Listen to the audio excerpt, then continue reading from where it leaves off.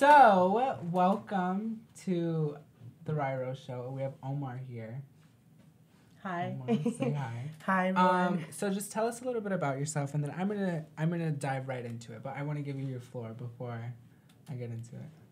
Um, so, yeah, I'm a double major in biochemistry and political science. I'm a junior right now, so I have two more years left at this campus. Um, and I'm from Walvis Bay, Namibia, which is a little port city, um, smaller than Oswego, but with more people, um, right on the coast. So, just your average Of where? You African. the, oh, of Africa. Yeah, you ju- said around the coast of what? in Namibia. So I'm just your average African making it big on Mhm, a SUNY campus. Or trying to. I'm trying to. Um, cool. So before I start, I want to say that I have there are a lot of people on this campus that I don't like, and like for good reason, right? Um, and you were one of them. Like around last year, I want to say the beginning, around this time last year, a year ago this time, and we've spoken How about time it. flies. Right, how, how things change. yeah. Um, we've spoken about it and we've talked about like why that was and all this stuff. But you know, I think you always you always go away from the fact that you didn't like me either. And you never you never told me why. So I'm gonna tell everyone why I didn't like you. Okay. Um, and so around this time last year, I was under the impression that you were someone you weren't, and you, um, you know, you did things that you didn't do, and all of that other stuff. So I let someone manipulate me into thinking that you were someone you weren't, which is, you know, fine. Now I know I know the truth. yeah. But um, so therefore, I didn't like, I didn't really interact with you very much. Anytime I saw you, I was like, ah, fuck him, or whatever the case may be. So, but then, I got to be director of SAPB, and we worked really closely together. And then the first weekend was it? Yeah, the first weekend. The first weekend we went out. We went. It was me, you, Emily, Josephine, and someone else. that was it. No, there was someone else. It was just us four. Was it? Oh, wait, no? No, it was another another. No, it was just us four. Okay. okay. so, um, so it was us four, and then we went out, and I was like, wow. What can I say? Yeah, I was like, wow, honestly. And then from there, I mean, you are super understanding. You like, I feel like I have a little therapist in the point now. Aw. Being there, it was really, yeah, you're not the person that people told me you were. So now it's your turn. Okay, well, firstly, I did not not like you. Um, but I could sense that we weren't on the same page, right? And my first sense of this was do you remember Constitution Day? yes, uh, were you there? It was you, me, and Destiny and Genesis Uh huh. in an empty room with like Yeah. 500 seats, and there was pizza. And there was like five of us. Yeah. And obviously, they ask if no one shows up, who shows up? The student leaders, Uh-huh. right? So they asked us to come, um, and I came because I'm all about politics. And there was a question that was asked, and I cannot remember what that question was. But somehow, like we, we you were just throwing at me, and I was like coming back. I'm like, what's going on? So um, yeah, I, uh, that was when I sensed, but it was I was just it, it was okay, you know. I want to talk fine. about that day because I remember that day. We're just normal people that are friends with each other and enjoy each other's company. So, anyways, um, so yes, Ryan, I I appreciated you. Um, I did not not like you. I knew we weren't on the same page, but people grow. You live and you learn. Wait, I have more questions about you not liking me. So, um, there was, it was Constitution Day, and then you started coming to Women's Center. Yes. Like the e-board meetings. Yes. And of course, like if I had anything really against you, you wouldn't have been invited or like let through that door. I just want to, I just want to make that known. Like you Yeah, wouldn't. don't let the director of diversity and inclusion through the door. No, that's, that's pretty much what was gonna happen. I'd be like, nah, you know, this meeting is too busy. We can't have you. Yeah. So, Um, Grant Omar. I know. I came. I came in. I was like, "What's up?" The Um, yeah, so when you came in, I wanted my girls to talk, which we'll get into like reasons why later. But um, and you came in and you were like, "Hey, I want to do this. This is blah blah blah blah blah," and then you know you came you came in like three times to our e-board meetings, Mm. something like that. And on the third time, I started warming up to you, right around the third time. I was like, yeah. What happened on the third time, Ryan? Around the third time is when you started getting bullied, and I don't like bullies. By who? By, by the campus. Was this during in the spring election, semester? Okay, because I I came I came at the end of the fall. mm-hmm. Um, Once, when and I then yeah and to introduce your project, yes and then two times in the spring to really implement and talk like. yes because when I started us. coming it was I didn't think I was gonna run because I I thought that Dalton might run again. Yeah. um, and I was genuinely interested in the project. Um, yes, and then when um, the club stood up for me and stood up for what was right and stuff, because we both know like sexual assault and sexual harassment isn't something Mhm. you play around with. Those words carry power and it carries meaning. Um, and like to just throw it around like that, especially if people went through such things, um, that's not something you do. So when when y'all like stood up for that and for me, like it made me like really feel at home. Yeah, know? and so I just want to make that known that I wrote that statement. I was like sitting next to Genesis, and I was like, "Hey, we need to do something because I don't like bullies." So you were getting bullied, and you know I felt like I had to be Captain Save a Ho. So I was like, "All right, it's time for me to step in. I in." love that saying. I was like, "It's time for me to step in." So I stepped in, and I did what's right, and then, and then I think from there I started warming up to you, and then I got my position as SCPB director, and then you know here we Mhm, are mhm, in this room being interviewed. mhm. Um, but yeah, so that was fun. That was Yeah. a little fun. Um, I know that I, when I'm in my office hours, I look forward to when you glance through the window and see if I'm in, and Yeah. then get a, a daily update. Like you don't even need to sign up for a one-on-one with me literally. because every day is a one-on-one. Yes, because I just it's so much fun because I feel like there's no like I haven't found anybody beside you that like gets it like gets being in all these positions and having so much pressure and having everyone talk shit about you for nothing. Like it's just you know Yeah, but but what do you say? You can't please everyone. I can't please everyone. So everyone. you stay genuine to who you are and you continue doing what you're doing because you have a passion for it. And that's one thing no one can take away. Your Your passion for yeah, your education and your passion because your passion fuels you and it drives you, it gives you the driven determination to pursue your destiny. Mhm. Um, and what you're doing right now is you pursuing your destiny because it's either going to help you get to that. So, no, two things. No one, you can't please everyone, and stay true to what your passion is. Mm. So, yeah. Words, keys, keys of the day. So I want to go into your politics. Are you going into politics after you graduate with your Most likely, yes. in the United States? I don't know. If he wins a second term, no. Mm. If Trump wins a second term, no. Um, so here's the thing I want to go to grad school in the United States, definitely. But the thing about people coming from Africa or people studying abroad from Africa, they usually never go back. They because there's so much opportunities outside of Africa, and they stay in that. But it's important to go back for me and build up my country. And yes, I'm going to face a lot of obstacles going back home. Um, I don't have the indigenous surname. Um, I am lighter skinned, even though I'm colored. Um,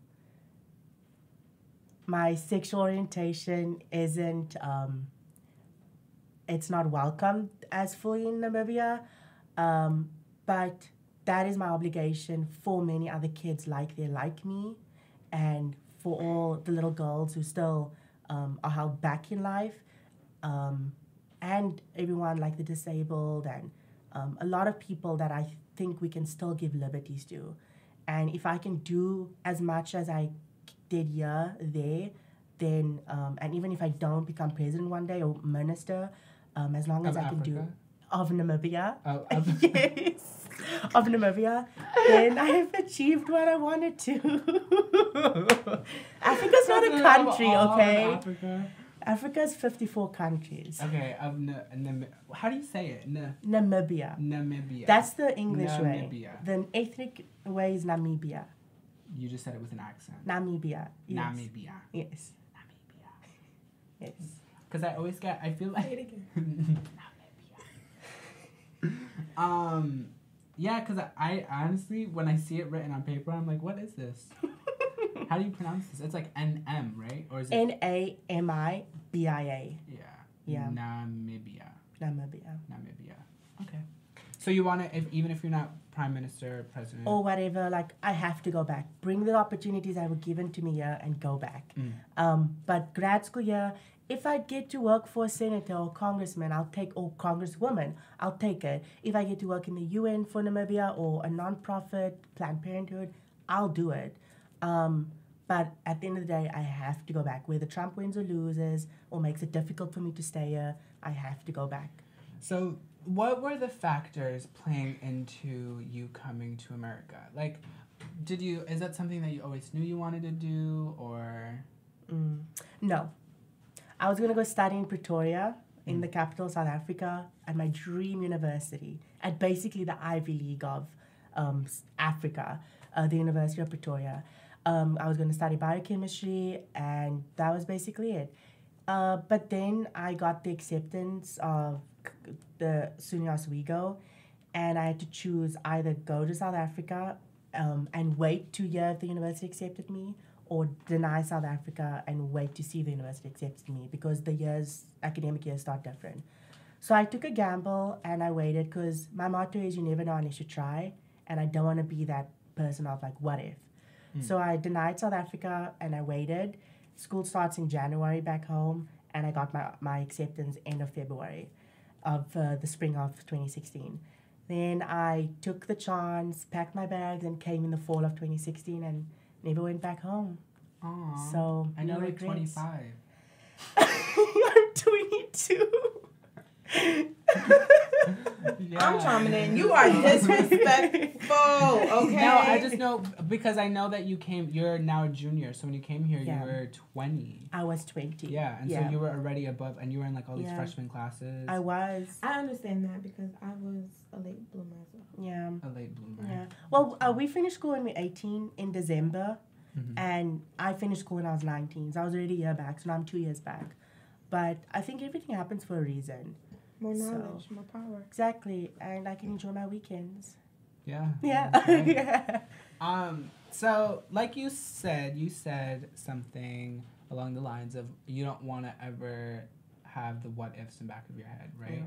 So, where does that line? Like, if right now, if the UN called you, you know what I mean? Are you dropping everything here and like, are you planning on going? Like, is that an opportunity that you can't not take? Like dropping college. I mean, you can no, not college, but I'm saying like you like all your positions here. Like, is that something that is really holding you back? Like, oh, I I have to finish this out and I have to see this out. But like your dream is right there. You know what I mean? Um, so my obligation right now is to the campus and the students, um, being president. So I mean, a few days ago, I got approached to work on a campaign for a state assembly seat, um, and that is my dream job. That's everything I wanted, but there's so much more that I can do on this campus, and that's where my heart's at, and that's what I promise the students. Um, so I'm gonna ride it out. I'm gonna do all that I can, give it, give it all that I can for the students on this campus, and finish my degree because that is something not a lot of students back home in Namibia have the opportunity to do in Namibia and abroad. So it's my obligation to them and um, to the many people who couldn't. Um, and it's so hard affording college here, so so hard. So I have to do my best to um, f- fulfill my education and get my degree. Mm. So yeah. Okay. So you headed, you put together um, a campaign last semester. It started last semester. Um, equal pay for equal play. So tell me a little bit about that. So the campaign was started by, or the, the campaign was started and the issue was um, found out by Emily Statsko, the PA director of, uh, PR director of the Student Association. Um, and then she approached me because I was director of diversity, equity, inclusion, and we're good friends. And then we started the movement together. So Equal Pay for Equal Play was um, founded to give all the women's club sports that have a male counterpart an equal opportunity to thrive. Um, we didn't want dollar for dollar. That is not what we wanted. We wanted an equal treatment, an equal opportunity to pay uniforms, to pay for equipment, the basic things you need to pay for sports, to go to different um, cla- uh, um, sporting events outside of the campus, and maybe make regionals, states, and nationals. So just an equal opportunity, which the women's club sports were not getting. They were getting 65% less funding overall compared to the men. Um, so that's what the movement, why the movement was started. And if you look at where we are at now, the women's rugby are playing um, a game this weekend, and if they win, they go to states. Um, the women's club um, ice hockey got accreditation with the National American like Hockey Association, and the women's club softball are having more funding to play and travel to Syracuse, where they could only almost play home games.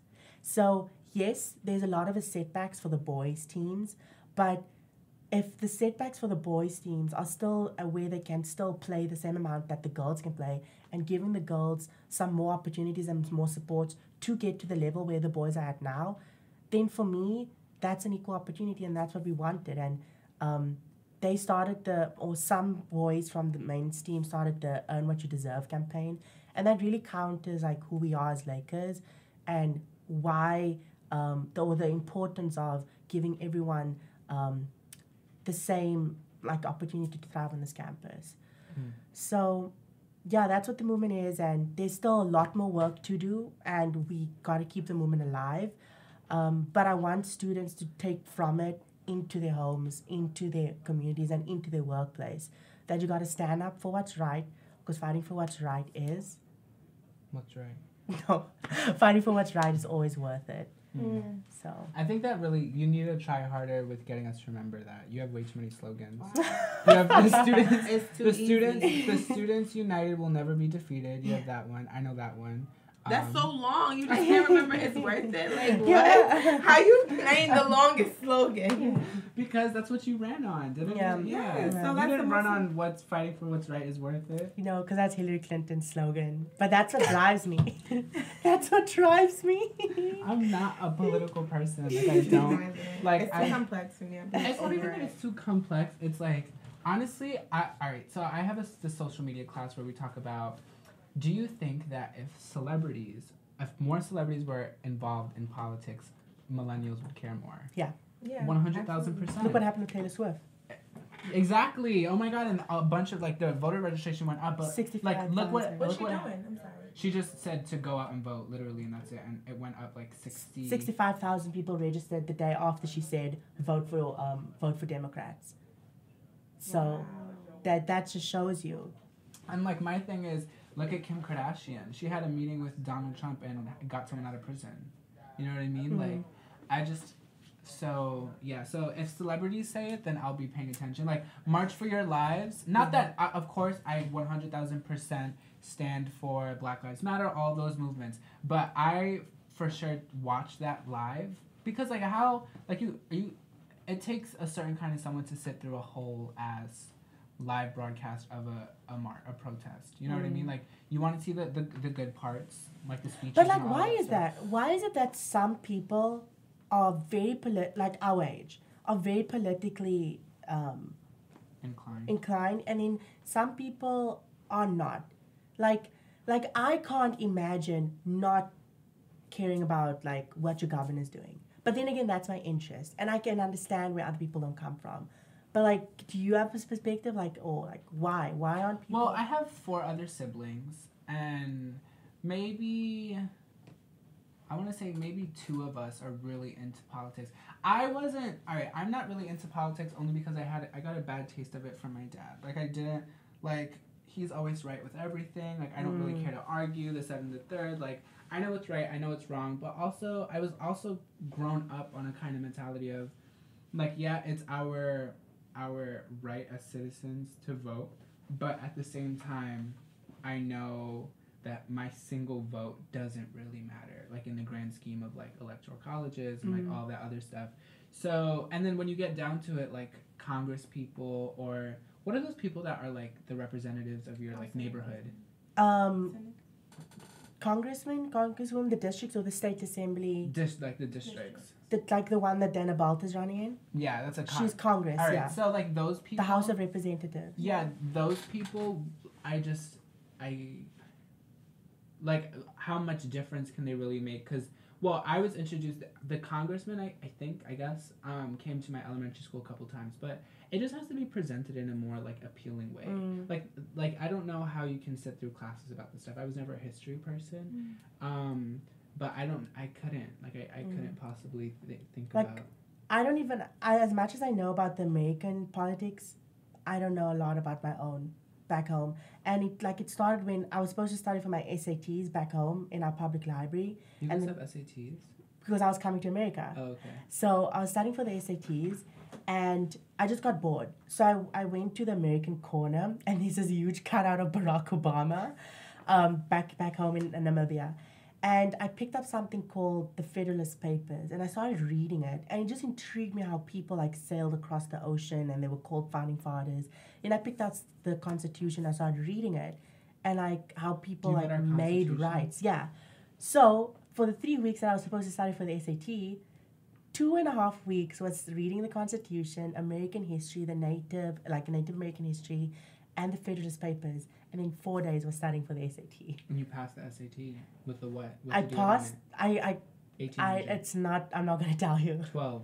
I'm not gonna tell you. Was it less than 12? I'm not gonna tell you. Was it? I'll tell you. Mine, Two things I'm not gonna tell people is my is my grades, my GPA, Why? and my SATs because I just feel like people like to judge. Mm. If it's just because I'm a biochemistry major, doesn't mean I'm smart. Back home, you I obviously have higher than a 2.5. um, I'm not gonna say or deny it. I mean, you have to. That's like public knowledge. you you need in order to hold certain positions on campus that you hold, you need to have above Yeah, a you do. 2.5. So And to have a scholarship, you need to have a oh. 3.0. I mean, when I didn't like you, I watched your. You came here. No, I I literally like researched. What? Yeah. So I saw your video of when you presented at like the geniuses, whatever. Yep, I saw that. I saw your little interview for that. I read your article that they posted about you. I then I went back and like your your family holds like some political like chair like they're like in the politics in your home country right I was junior mayor, but my grandfather was the first person to build a hotel for colored people because they couldn't stay with black or white Mhm. people. Um, so yeah. colored people as in not what So colored, you know Trevor Noah? No oh Trevor Noah So, yeah, Uh, me and him yeah, are yeah, both yeah. colored. So Uh-huh. in apartheid, you had blacks, whites, and then coloreds who were descendants from when the natives and the colonizers made babies with each other. But during apartheid, the coloreds were perceived as the bastard race because we had both white blood and black blood in us. So when they wanted to, um, during apartheid, they made sure that each person were segregated. so you're black and white we are colored. You're Yes, so I'm a descendant from black and white people, but we have our own culture, our own ethnicity. That's like when we do census, That's it's interesting. colored. It's not mixed race. Do not ever call someone under the equator of Africa mixed race. Mm. They are colored. Will they, like, Spelled with really a come at U. you? C O L O U R E D. Yes, because we have our own culture. It's like it's like denying us the culture. Okay Yeah. I didn't know that that's Yeah. interesting So like during segregation, like yeah, you just had to keep two people apart. You had to keep three people apart. mm. Yeah. Wow. Yeah. I didn't know that. So, anyways, yeah, I was doing some research on you, and I found out I was like, oh my god, this guy is smart too. I'm over him. So, Intimidated. Omar. Just keep me. I'm just your average Joe. um, shut up.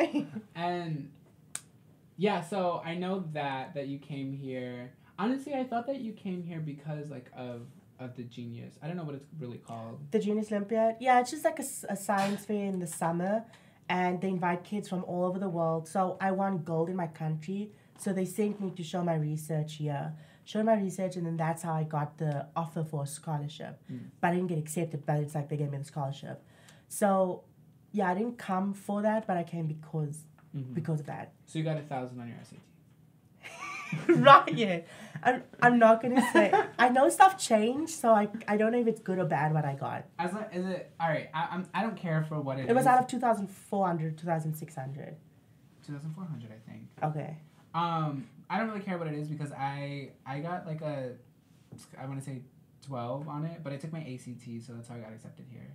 I took I that got a really good score on my ACTs. But um, as long as I always heard, as long as it's above a sixteen, it's good. Like sixteen is an average. and, Oh, like, as long okay. As you're above that, then you're good.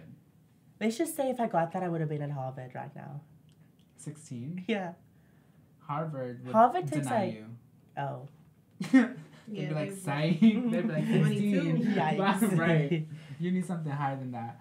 But yeah, so that's cool. That that I didn't know that that's how you got into Yeah. politics. Do you hear all the creaking in here? It's raining outside. Yikes. I hope it floods us. So before we go, we're gonna start wrapping up this interview. Um, I want to talk about pop culture. Um, are you a big Cardi B fan? No. You don't. Are you a big Nicki Minaj fan? No. Do you? Why don't you like either of those people? Because um What American artists are like super popular in Nam- Namibia? everyone, everyone. We only listen like it's not like oh do you listen to American music? It's do you listen to music because your music is our music. We have our own music too, like African house and stuff, but everything's big. Like Drake is big. I'm sure Cardi B is big because I left before she became big. Um, but yeah, like everyone loves. So you- everyone has their did you know who Ariana Grande was before you got here? I don't live in a like a straw house. I know, okay? but I'm saying. Yes, I did That's know her. exactly what I. Um. So yeah, who's your favorite singer? Um, uh, I don't like singers. I like like these American like EDM techno bands like Arizona Hippocampus. But I have a huge poster of Adele because I think she's God. So yeah, but I don't listen to her music a lot. Yeah, I know I'm weird. I'm not. I'm not your usual African. Yeah, you said EDM people. I wouldn't peg Yeah. you for an EDM guy. I I'd know. you. I'd peg you for like country, like because you're all about the American dream. You know. Ew, No. no. The only country song I like is that um, "Country Girl, Shake It for Me, Girl." Do you know that song? No, no. I think it's by Luke Bryan. That's the only song. I don't like country. Nothing against people like country, but um I no. No. I should play you my African song sometime. You should. You Yeah. should just blast it in your office, and I'll just walk Yeah. right in. Maybe we should have an international day and like, you know, just Yeah, for, your- for one of our board meetings, we should all bring a dish from our, our favorite African country. No, from our from our culture. What are you gonna bring? Um, Empanadas? mm, Platanos? Probably. What are- what are you? I think Mexican. Empanadas is not Puerto Rican. Oh sorry. Are you Puerto Rican? Mhm. I'm very it's an honor and a privilege to work with you. Thank You're you, doing great things already. Mhm. Um, and there's great things ahead of you, not just in SAPB, but but um, like after you graduate. I know that any company, um, any corporation, any Fortune 500, any entertainment industry, whatever you call this in business, will have you as an asset on their team. Talk more. Talk nice. So-. Keep going. This is really so yeah, so Mr. Director Rodriguez, Mhm. the world awaits. The Yeah. world awaits. So if I quit next week, No. No, we're not even going there. You, you're not doing this to me. You know what I've been through. yeah, you're right. been through. Yeah, you're right. Been through.